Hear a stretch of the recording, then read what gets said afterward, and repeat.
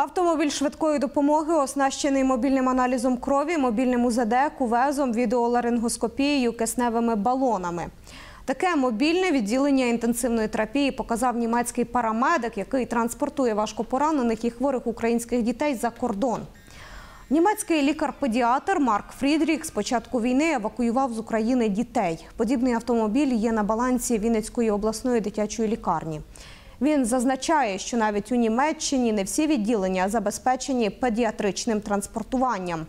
Від початку повномасштабної війни в Україні своїм реанімобілем транспортує дітей до Жешува в Польщі, а звідти літаком до Німеччини. Саме коли я побачив по телевізорі в інтернеті про пологовий будинок в Маріуполі, де постраждали діти та матері, я побачив, що є потреба в допомозі новонародженим, і що маленькі діти це не просто дорослі. По обладнанню все має бути інше. І я загорівся допомогою і разом з моїм фондом допоміг.